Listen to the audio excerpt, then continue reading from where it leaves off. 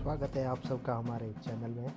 पेश है एक हिंदी कविता 26 जनवरी के उपलक्ष्य में। सही।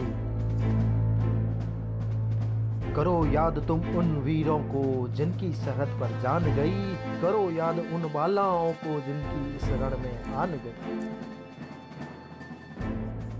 करो याद उन माताओं को जिनके अपने प्रिय सूत खोए। करो याद उन बहनों को जो रक्षा बंधन पर